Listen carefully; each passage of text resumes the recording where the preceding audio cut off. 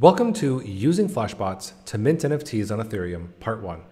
My name is Scott Bigelow, and I am a co founder of Flashbots, a service that has been running on the Ethereum network for about a year, which has improved the way that bot operators and miners communicate while improving the overall health of the Ethereum network. In this talk, we will be discussing what Flashbots is, why you should use Flashbots to mint NFTs, and we will build a TypeScript based bot live that will mint NFTs on Ethereum using Flashbots. We will not be covering what an NFT is or how you mint them. So if this is something that you would like to get more familiarity with, I will leave some links in the video description. I recommend checking them out before popping back to this video. Uh, in part two, we will be extracting MEV, or maximally extractable value, by minting NFTs with Flashbots. What I mean by that is in this video, we will be creating a transaction using Flashbots, which will send some amount of ETH to an NFT minting contract. And so long as we land the transaction at the right time, while this NFT minting contract is, is open for, for new mints, this contract will send us an NFT back. At the end of this transaction, we will be down one ETH and up one NFT. And it is up to us to determine whether this, this trade was worth it.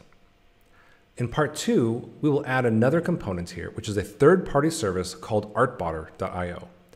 Artbotter is a system that allows users that are interested in an upcoming NFT drop to place an order ahead of time that allows anyone else to fill that order and receive the ETH that the user has staked. This allows us to create a small little arbitrage here where we can buy an NFT during the time which this NFT minting is open effectively sell this NFT to a user who has staked ETH, waiting for someone else to come along and buy the NFT on their behalf. And in doing so, we will receive their ETH that the contract was holding.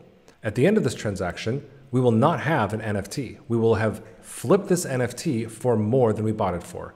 We will have 0.1 ETH extra at the end of this transaction. When we talk about extractable value, we are talking about transactions which are intrinsically valuable that anyone can run on the Ethereum network, but if you are the one to do so, you end up with more assets at the end than when you started. So, what is Flashbots?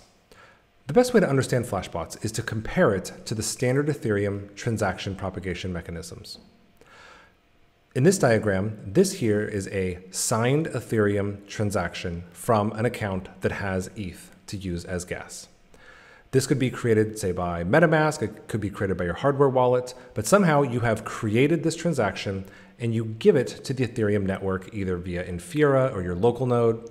And this transaction will sit there and bounce around the Ethereum network, being copied from node to node to node until eventually it finds its way to a mining system that is waiting to create a block with many of these transactions that it has discovered in the same way. And eventually, these will become part of a block and they will be confirmed. Uh, so this is not how the Flashbot system gets transactions into blocks.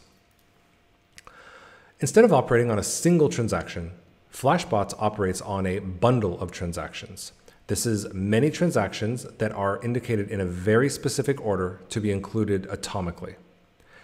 Instead of giving these transactions to the Ethereum propagation system, there is a Flashbots relay, which is a hosted service that can receive these bundles. It will perform some lightweight inspection on the bundles to make sure that they are valid and profitable enough to be of interest to miners. And it will send them along directly into these miners' mempools, waiting for the next block to get created, and then they will appear all of a sudden, not having been seen in the pending pool previously. So why would you use Flashbots to mint NFTs? Many of the NFT minting systems have restrictions in them preventing smart contracts from participating in these sales. In part two, one of the things we wanted to do was to mint an NFT before selling it. And we would like to do that in the exact same block. We do not want to be stuck holding this NFT while somebody else filled this order. We really would like to buy and sell in the exact same block and not maintain any price exposure. Using bundled execution, we can have multiple things happen in the same block, even as the components we're acting with do not allow contract interactions. We also get pre confirmation privacy. By sending transactions directly to these miners and avoiding this pending pool or dark forest, we don't give our competitors a chance to see what we're doing until it's too late when it appears in a block. We also get revert protection. One of the agreements that Flashbots enabled miners have is that if a transaction that you submit reverts when it executes on chain, it won't be included by the miner. It will be discarded and the next transaction will be selected instead. This is a set of transactions from an NFT drop of something called 8-bit token. And these here are the newest transactions, and these are the oldest. This is Etherscan, which sorts backwards in, in some cases. Uh, and we can see here that these users were able to successfully mint one of these tokens, and later transactions were not able to do so. Right here in this, in this one block is the cutoff point for when this NFT sold out all of these users, not only did they not get an NFT, they still had to pay the transaction fees associated that, uh, that caused their transaction to revert. So they are out really two things at once.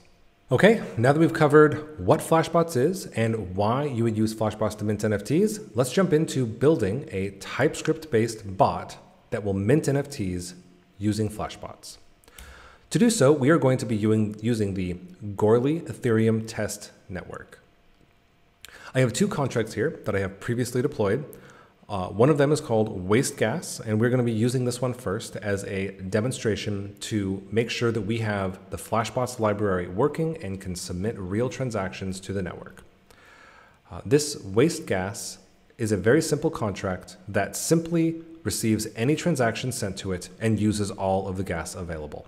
One of the things the Flashbots relay confirms before sending the bundle to the miner is that a bundle uses enough gas to be interesting to the miner. There is a amount of gas. If you use less than, the relay will give you an error saying, please use more gas. This is not something that's actually extracting value.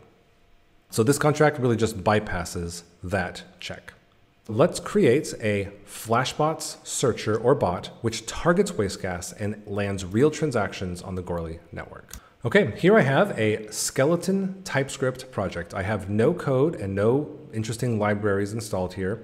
I have some of the important TypeScript bits here, but nothing related to Ethereum has been added to this project yet. So one of the first things that we want to do when we are working with Ethereum is to install an Ethereum library.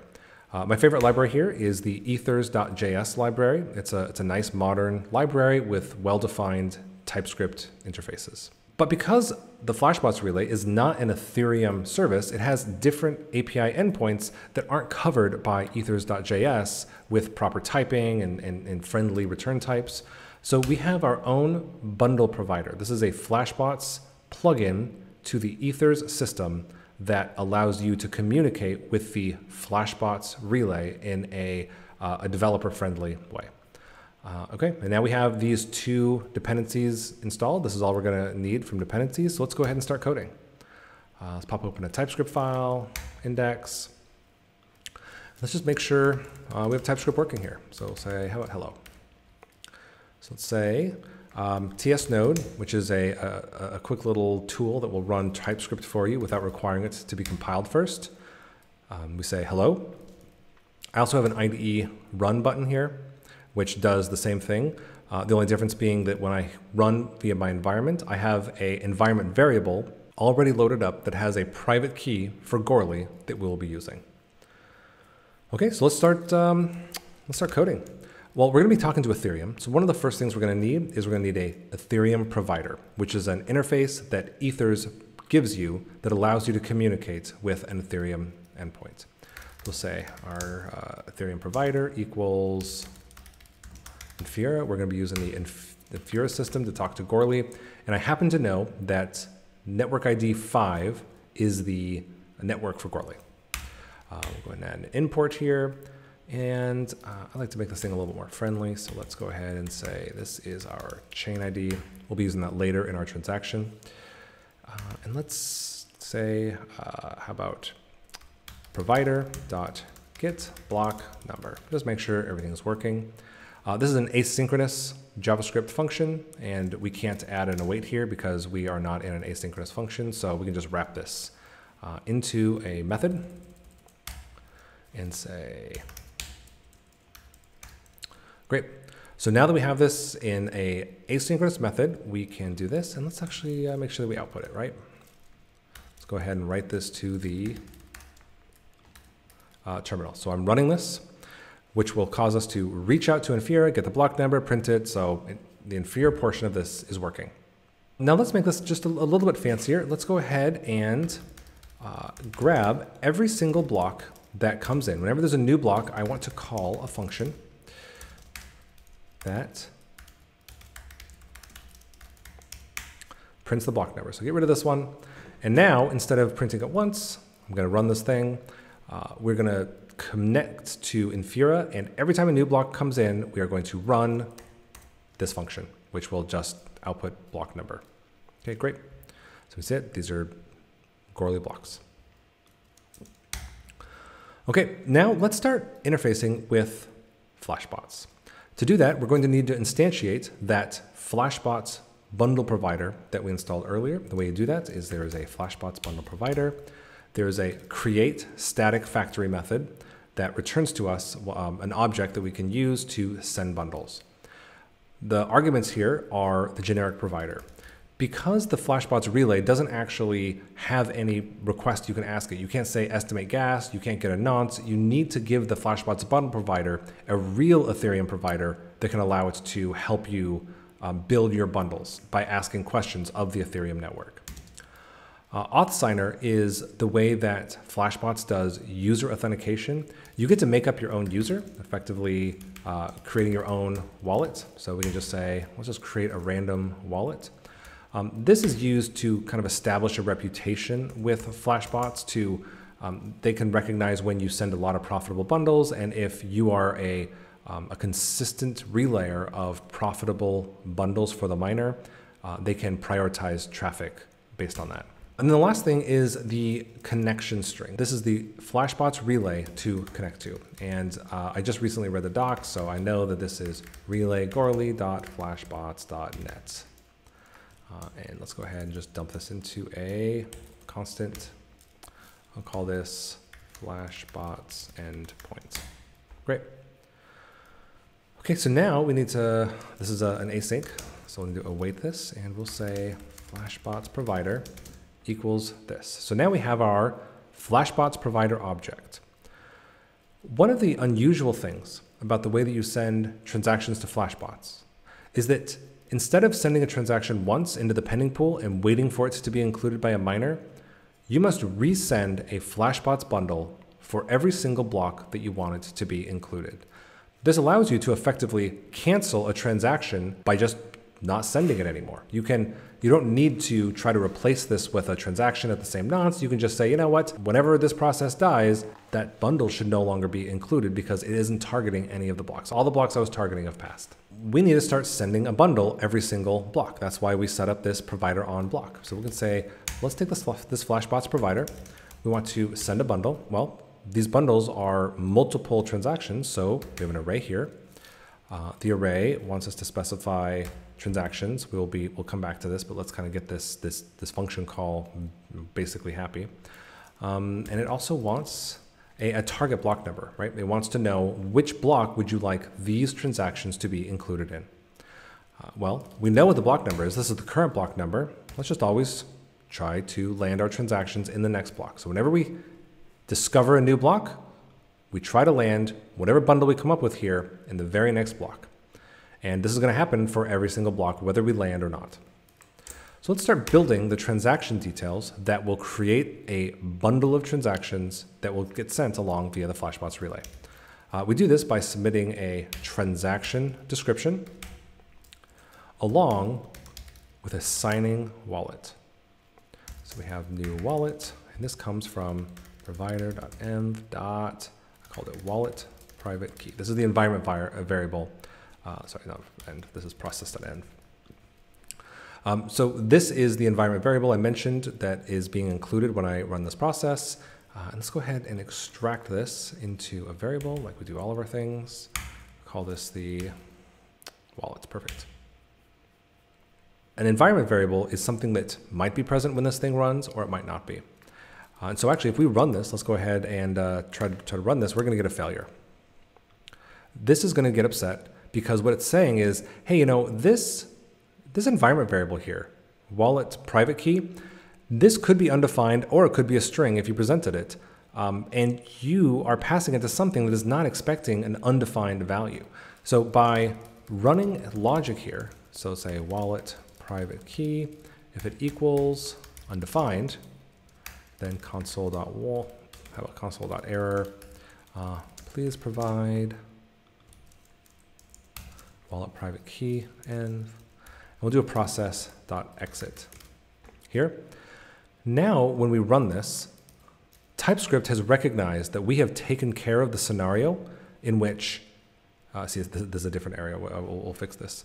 But um, it, it has recognized that this can no longer be undefined because if it was, we would have exited. This is one of the really nice things about using TypeScript.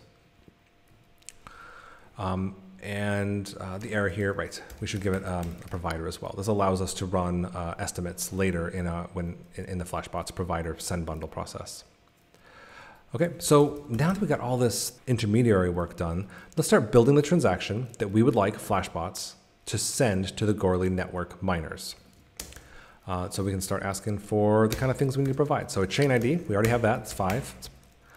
Uh, type, we're going to use a type 2 transaction, which is EIP 1559 transaction.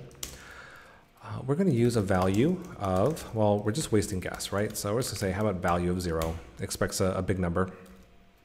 What else do we have to, uh, to add? How about uh, gas limits? Well, we know we need to waste more than 42,000 gas, 50,000. It's kind of a nice round number. Um, data, we don't really need to provide any data. 0x is the way that uh, you say null. And uh, let's start dealing with gas price. Uh, we need to say, well, what is our base fee? What is our max base fee that we're willing to pay? EIP 1559 has made this actually a lot simpler when you're trying to do demo transactions. So we just need to provide kind of a, a reasonable number here. I don't even need to go look up what the right market value is here because it'll just select whatever is reasonable. So this here is the way that you say gwei. So this is, you know, 10 to the ninth is a gwei. And let's say, how many gwei are we willing to pay? How about we're willing to pay three gwei for our base fee and we are willing to pay for our priority fee. Um, actually, you know what? We're going to reuse this. Let's go ahead and take this. And let's turn this into a constant because this is the, the gwei. We can just reuse that in our, our next thing. It's a gwei. Uh, we'll say, how about we're willing to pay this much for our priority fee. Uh, and the last thing we have here is two, right? This is the, the destination of our transaction. Let's pop over here to our, our waste gas, copy that address, pop over here, say two is gonna be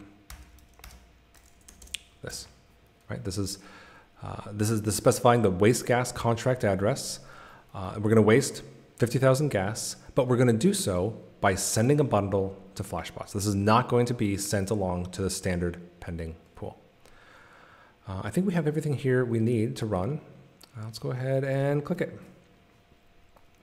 Now, not every miner on the Goerli network is a Flashbots miner, and so there is going to be several blocks that, that go by here where we don't get included, because if the Goerli miner that mines that block is in Flashbots, it will not have received this transaction. It has no chance of including it.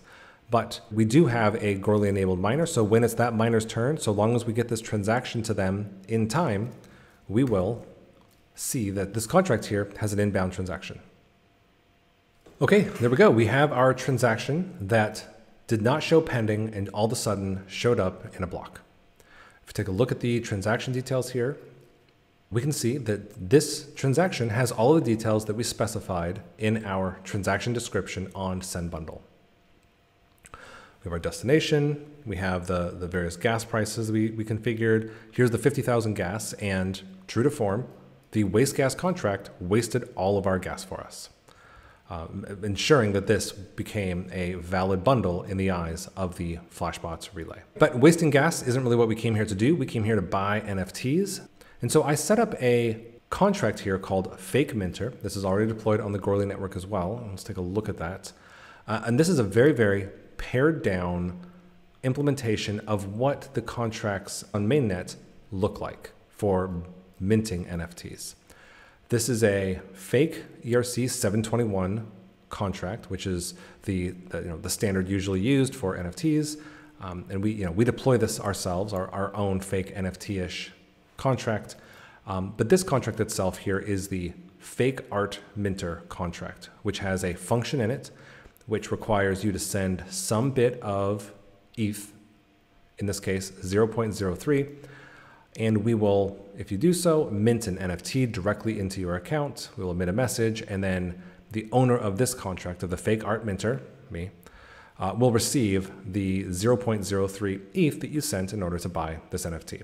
So what we need to do is take the example that we just created, and instead of calling 0x or you know, no call data, we need to call this mint function.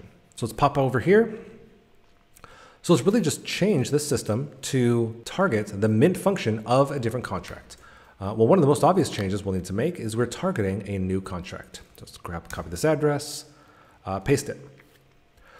Um, 50,000 gas is almost certainly not going to be enough to, to do all the things that this needs to do with minting the 721 and forwarding the ETH. Um, but one of the really nice things about this Flashbots provider is that this gas limit here is really an override. You don't need to provide it. And if you delete that attribute, the Flashbots provider will recognize that there is no gas limit provided and perform an estimate gas in order to populate that at the last minute before signing your transaction and sending it along to the Flashbots relay. The rest of these transactions look good except for, well, value, right? We decided that you needed 0.03 to cause that function to succeed onto the, the mint. Um, so let's actually make sure we're sending that, that value along. Well, how do we say 0.03? Uh, we can say, well, how about, well, 10 to the power of 18 is, uh, is an ether, right? So let's go ahead and make this a, uh, a constant ether. All right, so we have our, we're going on our ether here. Um, but right, we don't want to spend, send a full ether, right? That's too much. We need to say, well, how about an ether divided by 100 mul 3. This is how you say 0.03. Uh, you could also say big number.from and pass it a string, but this is a, this is a nice elegant way to, to, to pass value and be able to change it easily later. The last bit of information that is needed here is data. This is the call data that is passed to the contract that needs to make sure that mint is the function that we are invoking. Um, there are, there's a lot of ways to come up with what this call data is. Uh, Ethers itself has some really nice utilities around uh, ABI parsing, but we're going to skip all that and do the really, really easy way. We are going to say connect to Web3.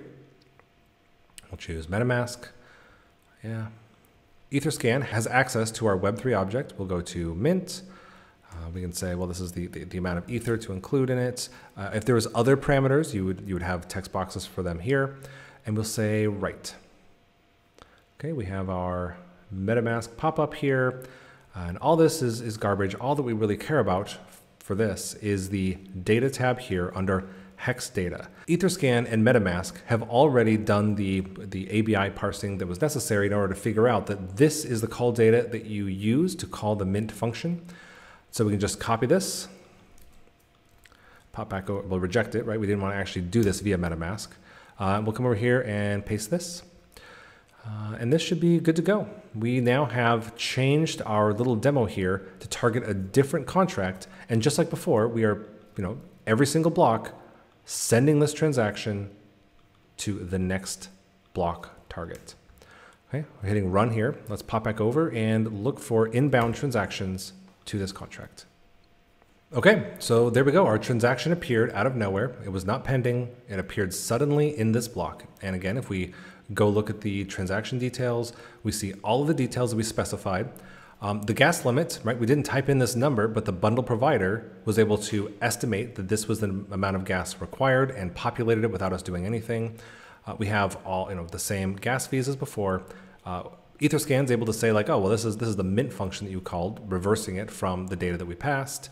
Uh, and here we can see this is our, our NFT mint, right? We were able to actually get, you know, token ID six of this fake NFT contract. And, you know, here's the 0.03 ETH right here. Um, right. So, so this is the way that you can target arbitrary contract functions uh, using MetaMask simply to extract the data that you need for the call data, which is really that, that missing part. And I'm sure you're thinking that, uh, well, you know, you're not really trying to mint these fake tokens, you're trying to mint uh, you know, some, some other token that you're interested in. Let's take a look at a couple others and see how we might have used a similar system to mint those NFTs.